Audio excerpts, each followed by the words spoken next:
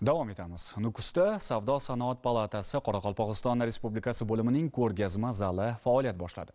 Ishbilarmon doiralar va biznes muhiti vakillarining muloqot maydoniga aylanuvchi ushbu maskanning o'ziga xos jihatlari haqida muxbirimiz reportaji. Mamlakatimizning boshqa hududlari kabi qoraqalpog'iston respublikasida ham so'nggi yillarda kichik biznes va xususiy tadbirkorlik o'z rivojlanish yo'liga tushgan. Ilgarilari chetdan keltiriladigan mahsulot turlari tobora kamayib eksport hajmi esa ortib bormoqda. Buni yangi binoning birinchi qavatida joylashgan ko'rgazma saroyida tashkil etilgan mahalliy tadbirkorlar tomonidan ishlab chiqarilgan mahsulotlar ko'rgazmasi ham isbotlab turibdi. Ochilish marosimida so'z olganlar yig'ilganlarni zamonaviy binoning foydalanish ishga topshirilishi bilan tabriklab bu yerdagi imkoniyatlar xususida to'xtaldilar. Haqiqatdan ham yangidan ochilgan ko'rgazmalar saroyi qoraqalpog'istonlik ishbilarmonlar doiralari vakillari uchun keng imkoniyatlar eshigini ochib beradi. Bu yerda doimiy ravishda ishlaydigan har bir shahar va tumanning imkoniyatlarini ko'rsatuvchi pavilyonlar faoliyati yo'lga qo'yildi. Mazkur e, ko'rgazmalar saroyining ikkinchi qavatida shu savdo sanoat palatasi tomonidan ko'rsatilayotgan xizmatlar ham joriy qilingan. Bunda shu tadbirkor o'ziga kerakli xizmatlardan foydalangan holda ham o'z mahsulotining e, targ'iboti bilan ishlashga va o'z malakasini oshirishga bog'liq masalalarni ko'rib chiqilishi mumkin bo'ladi. O'ylaymanki bu mazkur e, yangi bino bilan biz shu qoraqalpog'iston respublikasi tadbirkorlariga faoliyatini rivojlantirishga aholini tadbirkorlikka jalb qilishda muayyan bir hissa qo'shamiz deb o'ylayman.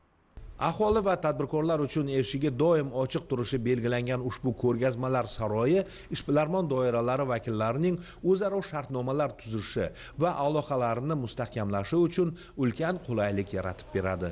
Bu juda kerak. Sababi e, bir yerda uyumlashib bu e, kichkenta yarmarkani beruv Э, бұл тәдбіркарлар үшін қатты қуаныш. Һәм бұл жерде qaysi korxona qaysi tadbirkor ne chiqarayotganini bilamiz. Qaysi tumanda ne bor ekan bilamiz. Qanday mahsulot bor ekan.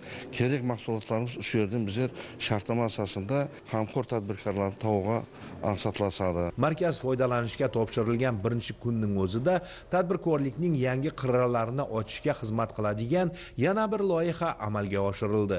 Toshkent viloyatida istiqomat qiluvchi yog'och ustasi behzod madraimov nukusdagi ko'rgazmaga o'zi yasagan buyumlarini olib kelgan edi. Ming kilometrdan oshiq yo'l bosib kelgan tadbirkorning bu galdagi maqsadi faqatgina mahsulotni sotish bilan chegaralanib qolmaydi. Bizni maqsadimiz mana shu yoshlarni shu hunarga jalb qilish shu narsani o'rgatish. Endi hozircha mana birinchi ishlarimizdan biri shu ko'rgazmalarda qatnashib yoshlarga tanishtirib shu yerda katta o'quv markazi ochish niyatimiz bor. Shu sohani mukammal o'rgatishga bizni hozir o'zimizni toshkentda o'zimiz viloyatimizda yetmishgacha ellikdan yetmishgacha sharoitimiz bor o'qitishga. Katta o'quv markazi ochib olamiz endi hozir bu yerda ellik kishilik o'quv markazi qilmoqchimiz. Bugungi kunda qoraqalpog'istonda o'n yetti yarim mingdan ziyod tadbirkorlik subyektlari faoliyat yuritmoqda. Endi ularning barchasi o'zbekiston savdo sanoat palatasining zamonaviy sharoitlariga ega bo'lgan hududiy bo'limi xizmatlaridan foydalanishlari mumkin. Bu esa orol bo'yida tadbirkorlikni yanada rivojlantirishga xizmat qiladi.